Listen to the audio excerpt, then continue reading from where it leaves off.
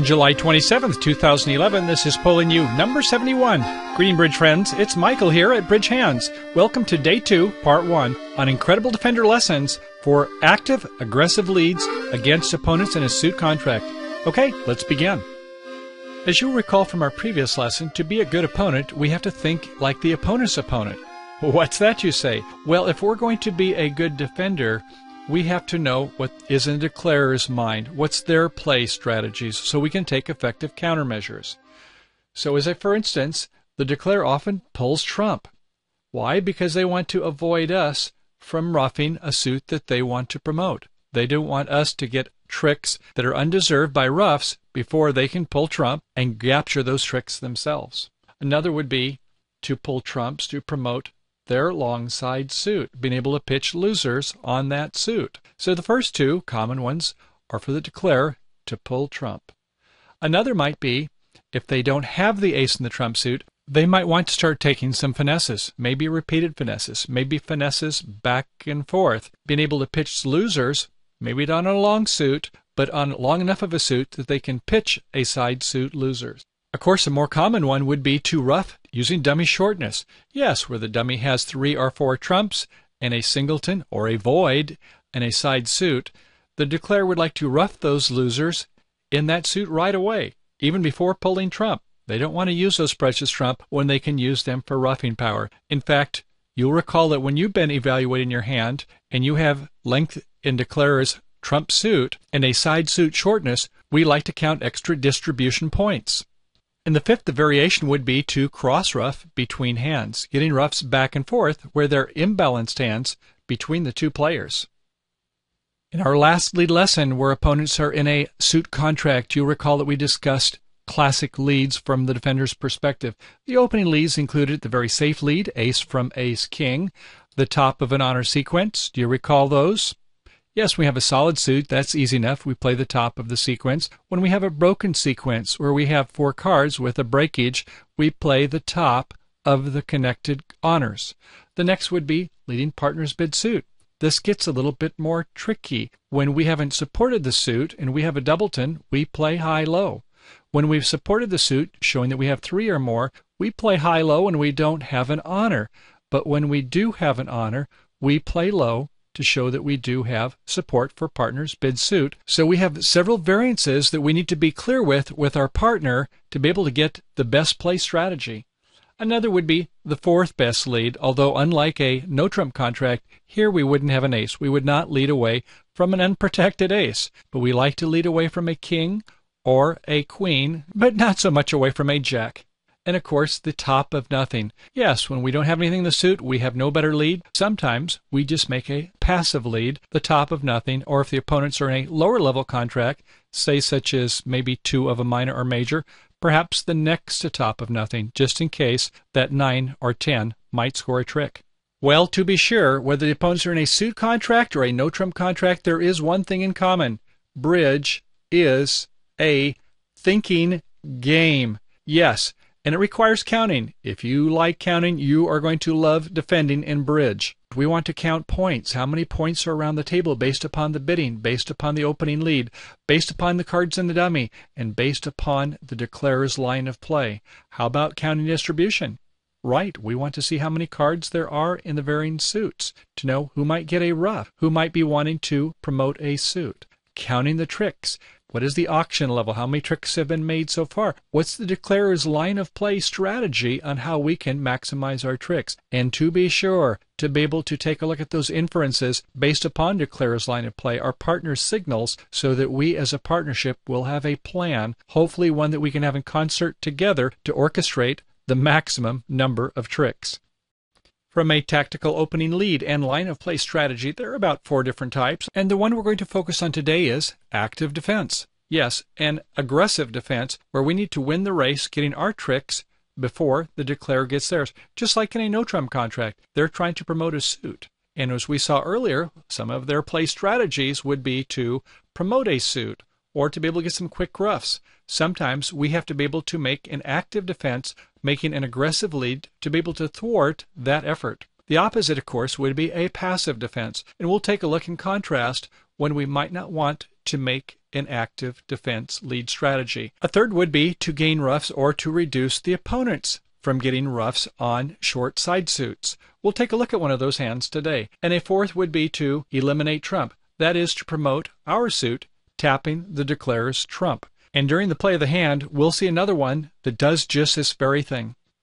So to summarize, we make an active or aggressive defense when the opponents may be setting up a long side suit, when the opponents may want to set up for ruffs and cross ruffs, or the opponents are in a high level contract, that is a 5 or 6 level suit contract, when the partnership has tenaces that are in jeopardy, and desperate times call for desperate measures. That is, we want to get our tricks quickly before they promote extra tricks themselves. Let's begin. On our first hand, South is a dealer and opens one spade. We look at our hand and hold a 4 4 3 2, two spades, four hearts to the nine, in diamonds, ace three times, and in clubs, king, jack, nine, four times. We'll pass. North bids two hearts, showing a five card suit and at least ten points. South bids two spades, ostensibly a six card suit, although some people might play it with five if they have an imbalanced hand, depending upon their partnership agreements. North bids three spades, showing belated spade support. Could be three, could be two, since South ostensibly has six spades. And after four spades, the auction passes out. What do we want to lead here? Well, with eight high card points, our partner could have six or seven points perhaps, so we'd want to make an aggressive lead since we're concerned about some pitches on this dummy heart suit. They do have a five card suit, and that could yield some pitches. So we want to make an aggressive lead of the two of clubs. So once again, our concern is that the declare will be able to promote the dummy heart suit, and we don't want to lose extra tricks that might be attributable in our club suit. Perhaps our partner might have a useful club, either a queen or an ace. If a partner has an ace, this would be ideal. A low to the ace, a club back, and if the declarer has the queen, we can get some quick tricks in clubs before they get some pitches on the heart suit. On our second hand, South is a dealer. Righty opens three clubs. Typically, this is with a seven card suit. Although since two clubs is a strong bid, some will make it with a six card suit, unable to make a weak two bid? If so, righty should have a strong suit, but we're not sure. If you know your righty, fine. If not, goodness knows what righty has. At any rate, we take a look at our hand, and we have a 4 4 3 2 in spades, king 10 four times, two small in hearts, in diamonds, jack 10 9 7, and in clubs, ace three times. We pass.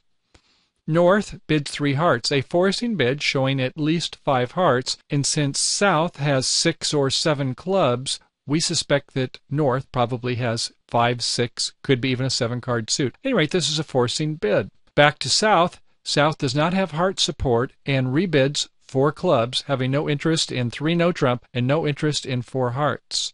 Back to North, North then bids five clubs, which passes out the auction, and the lead is to us over in the west hand. What do we want to lead here? Well, once again, since we're worried about the dummy's heart suit, we're going to want to make a fairly aggressive lead actually through the dummy's strength. The dummy is the stronger hand here to the declarer's weakness, and hopefully we can catch partner with a useful spade. So we're going to want to make a lead of the two of spades despite the fact that we have a sequence in the diamond suit. That'll be much too long before we can promote a trick with a Jack 10 9 in this situation. A two level contract, that would be fine. At a five level contract, we need to hustle to get our tricks. So the two of spades is a good lead. We're hoping that our partner may have an ace or a queen of spades in their hand. After all, we have eight points, so it's quite possible our partner we could catch with two, four, or five points themselves. So our strategy once again is to promote our tricks before the opponents can promote theirs, that is the heart suit. We're worried about that heart suit getting extra pitches from the south hand on the side suits, particularly in this case, the spade suit where we have several honors in our west hand. At the table on our first hand, South is a dealer and is blessed with a wonderful holding in the master suit in spades. King, Queen, Jack 10, six times. That's six high, and two distribution points makes eight with a almost self-sustaining suit. In diamonds, king, queen, four times, another five high card points for another great suit. Brings us up to 13. And in clubs, queen, three times. Another two makes 15. A void in hearts, easily opening one spade. Over to West, we have a 4-4-3-2 suit. 4-4 in the rounded suits, clubs and hearts, but not many points. In diamonds, ace three times. In clubs, king, jack, nine, four times. A pass. Over to North, in hearts, there's another great suit. The other major has ace, king, queen, jack, eight spot, ten high. One distribution point makes 11, and another almost self sustaining suit. In spades, ace, eight spot. Okay, there's another four. That makes us 15. In diamonds, jack, 10 9. Well, I think that's worth one point with connected 10 9. So we're up to about 16 points, and we'll respond two hearts. Over to East, it's a 4 triple 3 with only an ace of clubs for values, no bid. Back to South. Well, we have six spades, and although we have no hearts, we'll rebid two spades. Some of you may want to bid three spades. That is a possibility. Let's take a look at the south hand from a losing trick count perspective. Now, we do not have a fit with partners, so technically we're not to use losing trick count, but our hand is almost self-sustaining, so let's just tease ourselves and just see where we would end up. We would have one loser in spade. We would have one loser in diamonds. We're only missing one of the top three. And in clubs, we're missing two of the top three if you're so inclined to count with queen third. But maybe it's only worth half of a losing trick. So this could be four or five, but here again, since we have a void in hearts, our partner may have a void in spades, so we ought not to be using losing trick counts at this time. So two spades is sufficient. It is a forcing bid after our partner made a two level bid Okay, back to North. North, what do you want to bid now? Well, you have some extras, and we think that our partner South has six spades. Now, when a person rebids a suit, do they always promise six? Not always. Some of you may play that it firmly promises six. Fine, if that's your agreements. But I would suggest that if North had bid two clubs, then South has room to bid diamonds or hearts. So if they bid two spades, they ought to have six. If partner North bid diamonds, now we could still bid hearts or spades, so it likely has six. If our partner has bid two hearts, well, there's no room to make another bid. And if two no trump is not a balanced hand, let's say this had five spades with a singleton heart, it doesn't really feel like a balanced hand at all. So when it happens to be one spade, two hearts, the rebid of two spades, a lot of players would do it with five, whereas if it was one spade, two clubs, then a person ought not to be bidding two spades unless they have six. That said, if we had these top five, king, queen, jack, ten, seven, that almost plays like a six card suit. Okay, well, back to the auction. After our partner bids three spades, we in South bid four spades. North wonders if they should be bumping the auction on a little bit further, but is satisfied to play in four spades. And the opening lead is to West. West, what's your lead? Well, as you recall, we want to make an aggressive lead here. When we've heard North bid two hearts, we have some concern that there may be some pitches. And since we have two honors in the club suit, we would want to go ahead and lead a club. Either a two a club, a nine a club would work, but traditionally when we have bottom of something, we lead the two. We want to make a fairly aggressive lead here. So we're going to lead the two of clubs. A low comes from the dummy. Our partner goes up third hand high with the ace, takes a look at the dummy, and starts to make a plan to come back. Now they see this Jack 10 9 of diamonds, but our partner's played low, bottom of something. And since we over in the east hand only have an ace of clubs, and the opponents didn't have any interest in slam, we believe our partner has some honors in the club suit. We'll come back with a club. A low club goes to the jack. Our partner now cashes the ace of diamonds before taking the king of clubs. What's that all about? Well, let's say it was a doubleton in club and we played the third club. All of a sudden they'd start taking their tricks. And because we can see this threatening dummy, ace, king, queen, jack, five times, that's a good idea in this situation to cash out the ace of diamonds before they can do some pitches. After winning the ace of diamonds, we then go ahead and get our king of clubs. And yes, there was three clubs held by the south hand. So in recap, the auction was one spade, two hearts, two spades, not three, four spades by north, passing out. The lead by west should be a low club. Notice any other lead except with the ace of diamonds, which just happens to work out, but then you have to come back with a club anyway, is that any other lead in hearts or spades is going to spell bad news, isn't it? They're going to be pitching off all their clubs on this dummy heart suit. And going back to original hand evaluation from South, remember we don't want to count losing trick count until we have a partnership agreement on the suit. And in this case, we do not really have a fully self-sustaining suit. If you had ace, king, queen, jack six times, maybe. But king, queen, jack ten six times, semi self-sustaining. If partner has a singleton, yes, then we're in good shape. We can probably get five out of the six tricks. But with this holding, don't be so quick to use losing trick count. And as you'll recall, the question on whether we should count the queen as a loser or not, or a half of a loser, in this case, all three of these turned out to be losers, didn't they? Okay, very good. Let's look at our next hand. On our second hand at the table, South has a very interesting hand with a 7-3-2-1 shape. In clubs, King, Queen, Jack 10, seven times. I would say this is a self-sustaining suit, no matter what partner has. It's unlikely the opponents are going to have Ace 9 five times, so we should only lose one trick no matter what with this holding. So we have 6 high plus 3 distribution points makes 9.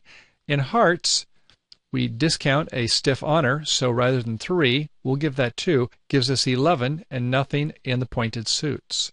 So what do we want to bid here? One club? Three clubs? What's your pleasure? I think in first seat, with a minor, I would go three clubs, regardless of the vulnerability. Now, what's the chance we preempt our partner in first seat? It's a one in three, right? There's two other opponents have yet to bid, so it's a 1 in 3. In second seat, it's a 50% chance that we're going to preempt our partner. So second seat is not as good a seat to preempt as it is first seat. Now, if you made these club spades, I'm going to open at one spade every time with this holding because I can rebid the suit several times if I need to. How many losers do I have? I have one loser in clubs. I'm not sure about my loser in hearts, and I have five losers in the pointed suits if my partner has an entry and a queen of hearts or a ace of hearts, we're going to take a lot of tricks. But with only about seven losers, this is not a bad hand. But once again, in first seat, in a minor, I would like to open this three clubs. Okay, over to West. It's a 4 4, 3 2 suit. In spades, King 10 four times. In diamonds, Jack 10 9, seven spot. In hearts, two babies, and in clubs, ace three times. It's a pass after three clubs, and then to North. North has a nice heart suit. Ace Jack nine eight seven six times. In clubs, well, some support for partner there. Nine eight three. In spades, Ace Jack six, and in diamonds, a, another questionable. This time it's a stiff king in the other red suit in diamonds. How do we evaluate this hand? Well, I'm not inclined to give it length points in hearts with ace jack 987 six times since our partner in the south has made a preemptive bid. So for high card points, there's five. Another five in spades makes ten. In diamonds, unlikely our partner's got an ace. In fact, in first or second seat, I would say preempting at the three level with an outside suit ace is wrong, wrong, wrong. Now at the two level, I don't have a problem with that. But the three level, if you have distribution points, because you're going to have two of the top three, if you have an outside ace in first or second seat, it just doesn't make sense. You have an opening hand. So I don't think we should give too much value for this king either. Once again, it may be worth two, but because partner preempted, it may be worth less. But our partner may have some heart support. Our partner may have three hearts, so we can go ahead and bid three hearts, a forcing bid, and we don't really have a problem with that because we do have the three clubs to come back to four clubs if necessary. So after three hearts, over to the east hand. In diamonds, ace queen five times. In spades, queen nine eight four times. In hearts, queen ten four times. And as expected, a void in clubs after lefty, that's south, three club opener. It's a pass. Back to south, having heard three hearts with a stiff king of hearts. What next? Well, it could be a five card suit, although we do like the fact that we have a king. I believe we want to go back to four clubs to show this wonderful club suit. So four clubs is our bid. Passed by West, back to North. Now what? Well, we certainly didn't want to play in three no trump anyway with our stiff king of diamonds. So the question is, do we go to five clubs? Well, we have some ruffing values in the diamond suit, so if our partner, the declare, will have a opportunity to ruff some diamonds, that might be useful with our clubs. So perhaps five clubs is a good bid. So after five clubs, the auction passes out. On the play of the hand, West is sure lead. What do you wish to lead here? Do you want to lead the Jack of Diamonds? How about an Ace of Clubs and another club to reduce ruffing power? Away from the hearts, North spade suit? Or a spade? Well, the lead we'd want to do would be a low spade. We want to make an aggressive lead in this auction. We're concerned about North's ability to go ahead and promote the heart suit. So we're going to go ahead and lead a low spade. We get an ace of spades from the north hand, our partner an encouraging eight of spades from the east hand, and a low spade comes from south. Okay, declare, what's your strategy at this point? Well, you'd like to go ahead and ruff some of your diamonds in the north hand and we'd also like to play our King of Hearts and then get some pitches on the Ace of Hearts. Do we have entries to the dummy? Yes, we do. That 9 and 8 of clubs are going to be very valuable once the Ace of Clubs has been removed. Okay, so we're going to go ahead and play a low heart up to the King. We then are going to play a diamond back up to the King in the north hand, won by East's Ace. Okay, East, what are you going to come back in now? Well, hopefully you'll be a cooperative partner. Your partner started with a low spade, and you're going to go ahead and play a low spade yourself, showing that you have spades and you like the suit. So we play a low spade, to partners king. That's eight spades out. There's one left in dummy. Might they fall four triple three? Does South have another spade? We come back with another spade to the Jack, to the Queen. No. South only had two, so it was a 4 4 3 2. 4 4 being held in the East West hand. Ruffed by South, South, now that you're in, you can go ahead and start to ruff some diamonds, or you can go ahead and pull a couple rounds of trump, knowing that you'll be able to get to this ace of hearts at any rate. Somewhat risky, this declare begins with a club, nicely ducked by West, although a better lead would be a low diamond ruffed and pitch on the ace of hearts. By the way, West should duck the first club in second seat, since partner East might hold a singleton king. It is possible that South preempted with no more than the Queen Jack 10 seven times in clubs and lacked a primary honor. Okay, next uh, second club goes to the Queen, and this time West will cover with the ace. West, seen from the dummy's perspective, you can either play a club or a heart. You might as well give them their ace of hearts since they have an entry to that nine of clubs. So you play a four of hearts to the ace. They then play a heart and ruff it in the south hand and they're going to go ahead and ruff this last diamond in the north hand. And at this point, they go ahead and claim the rest of the tricks. They can play a heart up to the jack, to the ace, winning the rest of the tricks. Down one. So let's go ahead and do a postmortem and take a look at this hand again. Back to trick one. The opening lead, a spade two, great. We don't want to lead a heart.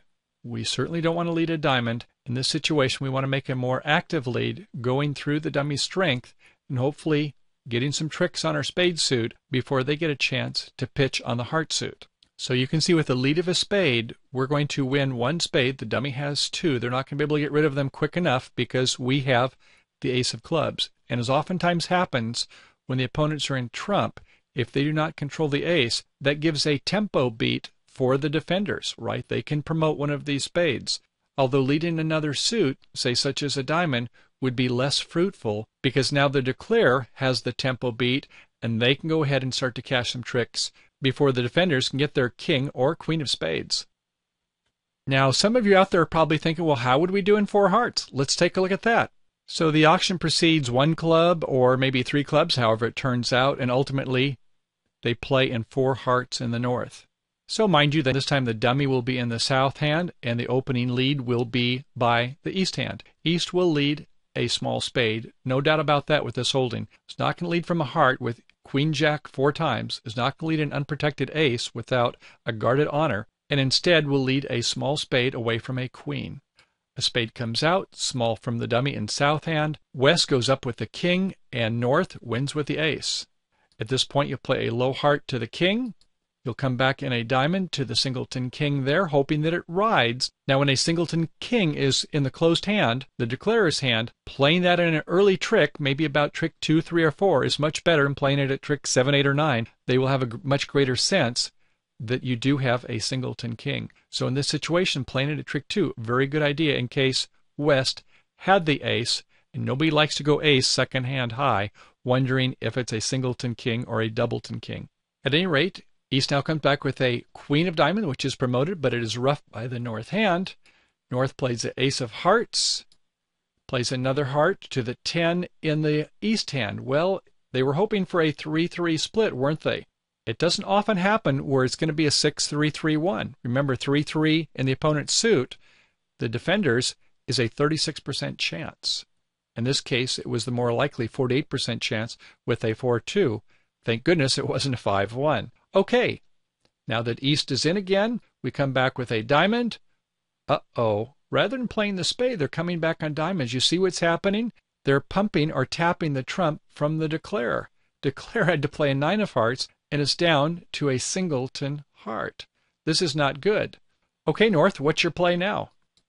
Well, you play a low club to the 10 of clubs, to the ace held by the west hand, and west is going to come back in a spade, to the jack, to the queen. After winning the queen of spades, east, you can show the bad news now by playing the queen of hearts, can't you? The queen covers the jack.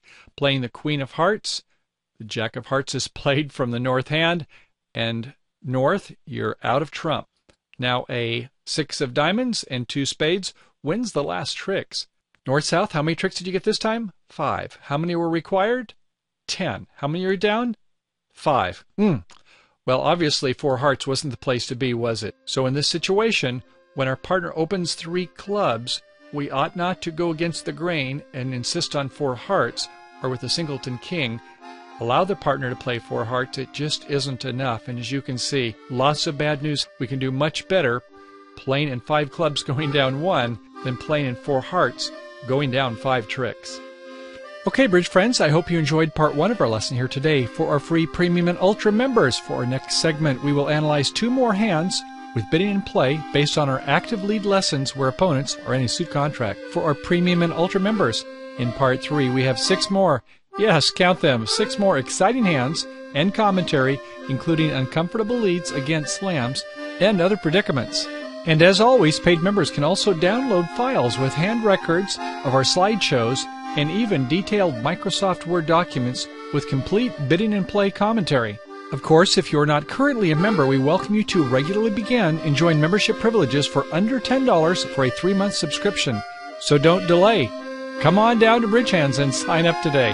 Okay, everyone, see you on the flip side. Bye for now.